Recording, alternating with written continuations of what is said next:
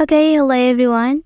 Here I want to provide a tutorial on how to fix signal phone not appear on Realme C51 device. Okay, let's turn to the tutorial. If you ever had this problem on your device, and then you can do these steps. First, you can turn off your phone like this. And then, if this method doesn't work, you can open the settings menu and you can select this option. After that, select mobile network option and then you can make sure that the SIM card is active. Okay, if it looks like this, and then you can activate it by tapping this option. Okay, and then activate it like this.